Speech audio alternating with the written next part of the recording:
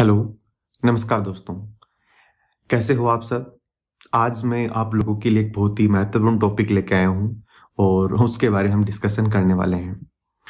Basically आप लोगों ने तुर्कमेनिस्तान का नाम सुना होगा, जो कि एक सेंट्रल एशिया की महत्वपूर्ण कंट्री है। तो उस कंट्री के बारे में हम जानेंगे, उसके अंदर क्या कुछ घट रहा आजकल, जो कि हमारे लिए इंपॉर्टेंट हो सकता है, वो हम देखने वाले हैं। दोस्तों, अगर हम बात करें थोड़ा सेंट्रल एशिया के बैकग्राउंड की, यानी कि हम बात कर सकते हैं एक तरीके से, मध्य एशिया के नाम से हम जानते हैं। सेंट्रल एशिया के अंदर बेसिकली अगर हम देखें तो वो कंट्रीज़ हैं जो किसी टाइम पर दोस्तों यूएसएसआर यानी रसिया के अंडर आया करती थी, और उसमें से तुर्कमेनिस्तान एक इंपॉर्टेंट कंट्रीज़ है। सेंट्रल एशिया की अगर हम बात करें तो उसमें Tajikistan, Turkmenistan, Afghanistan, Kazakhstan, Kyrgyzstan, ये जो स्थान वाली कंट्रीज़ हैं, नाम से ये वहाँ पर आती हैं। तो अभी क्या न्यूज़ में चल रहा है? क्यों इतना बूम बना हुआ हम देखते हैं। आप लोगों ने एक नाम सुना होगा कई बार, या नहीं सुना तो मैं आपको बताता हूँ। गेटवे टू हेल नरक का दरवाज़ा, या फिर साइनिंग ऑफ़ काराकुम के नाम से। तो बेसिकली दोस्तों है क्या कि जो तुर्कमेनिस्तान है, उसके कैपिटल का नाम है असगाबाद और तुर्कमेनिस्तान के नॉर्दर्न एरिया की तरफ़, यानी तुर्कमेनिस्तान का जो नॉर्दर्न पार्ट है, जिसे आप बोल सकते हो रसिया की साइड वहाँ पर एक डेजर्ट है, एक मरुस्थल है, उसका नाम है काराकुम डेजर्ट और दोस्तों, उस काराकुम डेजर्ट के अंदर क्या है? बड़ी मात्रा में गैसें हैं, वो पाई जाती हैं। मतलब अर्थ के अंदर बड़ी मात्रा में क्या है? रिजर्वर्स हैं.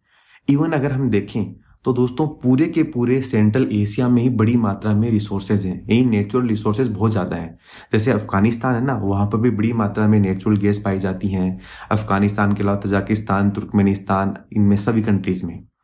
तो वहाँ पर क्या है दोस्तों, उस काराकुम डेजर्ट के अंदर क्या है 1971 से एक खड्डा था, एक होल बना हुआ था ज़मीन के अंदर बड़ा सा, और उसमें आग लगी हुई है।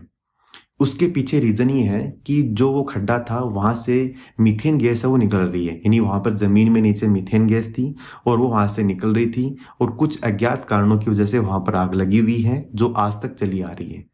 तो अभी देखा जाए तो वो घटना, ऐसी बात नहीं कि सरकार को पता नहीं था। उसके पीछे देखो अलग अलग थ्योरीज हैं। जैसे कुछ कंट्रीज़ हैं या कुछ जोग्राफर्स का ये कहना है कि उस जमाने में जो तजाकिस तुर्कमेनिस्तान है सॉरी वो हमारा किसके अंडर आता था? यूएसएसआर के अंडर तो यूएसएसआर ने वहाँ पर आग लगा दी थी। अलग अलग थ्योरीज हैं, लेकिन कोई भी ऐसा साइंटिफिक प्रूफ हमारे पास है नहीं। लेकिन उसमें जो खास चीज़ है, वो ये है दोस्तों, कि उस खड्डे के अंदर एक तो मीथेन गैस का रिसाव है, ये आपको ध्यान रखना है। दूसरा, आपको ये ध्यान रखना है कि वो काफ़ी लंबे टाइम से जल रहा है तो देखो, कहीं ना कहीं नेचुरल रिसोर्स है, उनका लॉस हो रहा है।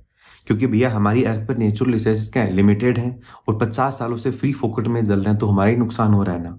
तो इसलिए तुर्कमेनिस्तान की गवर्नमेंट ने ये डिसाइड किया है कि भाई, अब हम उस गड्ढे को बंद करेंगे। दोस्तों, इतने सालों तक उस गड्ढे का काफ़ी ज़्यादा यूज़ था, वहाँ पर टूरिज़्म के तौर पे था।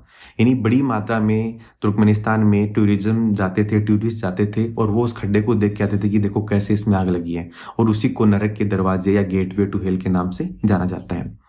और उसको काराकुम ऑफ़ साइनिंग के नाम से भी जानते हैं, या साइनिंग ऑफ़ काराकुम। यानी काराकुरम डेजर्ट की वो चमक है एक तरीके से, क्योंकि वो दिन रात क्या है, जलता रहता है।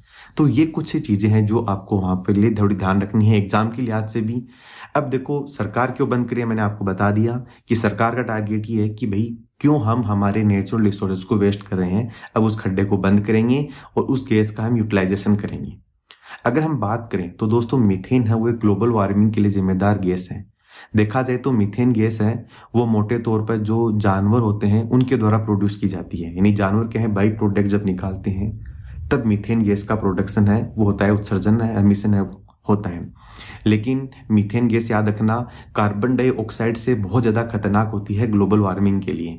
तो कुछ साइंटिस्ट हैं, वो आज इस ग्लोबल वार्मिंग के पीछे बोले कि कहीं ना कहीं वो गैस का रिसाव भी माना जा रहा है, क्योंकि मीथेन गैस क्या है ग्लोबल वार्मिंग के लिए जिम्मेदार एक मेजर गैस है। तो ये कुछ इंपॉर्टेंट जो फैक्ट्स थे जो मैंने आपको बताए। अब देखो, इसके फ़ायदे क्या होंगे? अफगान, अगर हम बात करें तुर्कमेनिस्तान में क्या नुकसान होगा? दोस्तों, नुकसान की इसमें कोई कुछ नहीं है। फ़ायदा ही होने वाला है क्योंकि हमारे नेचुरल रिसोर्सेज को क्या हम यूटिलाइज करेंगे। तो उससे कहीं ना कहीं क्या है, हमारी अर्थ के ऊपर जो रिसोर्सेज हैं, इनके ऊपर कई दबाव है वो कम होगा। तो ओवरऑल हमें इसका फ़ायदा ही होने वाला है। प्लस में दोस्तों, आगे आने वाली जनरेशन हैं, उनके लिए भी बहुत बेनिफिट रहेगा कि रिसोर्सेज को हम यूटिलाइज है वो कर पाएँगे। और सस्टेनेबल डेवलपमेंट के लिए भी क्या है? हमें रिसोर्सेज को क्या है? एफिशिएंट वे में यूज़ है वो करना होता है। तो ये थी इंपॉर्टेंट आज की डिस्कशन में। और दोस्तों, ऐसे ही वीडियो के लिए आप चैनल का बेल आइकन है, उसको दबाना बिल्कुल मत भूलिए और चैनल को सब्सक्राइब कर लीजिए। और इसी के साथ आपको वीडियो कैसा लगा, इसके रिगार्डिंग आप कमेंट बॉक्स में ज़रूर बताएँ। और आगे मुझे किस टाइप की वीडियोस लानी है तो आप इसके बारे में रिकमेंड है वो कर सकते हो। मैं उम्मीद करूँगा कि वैसे वीडियोज़ आपके लिए डेली लेके आ पाऊँ। Thank you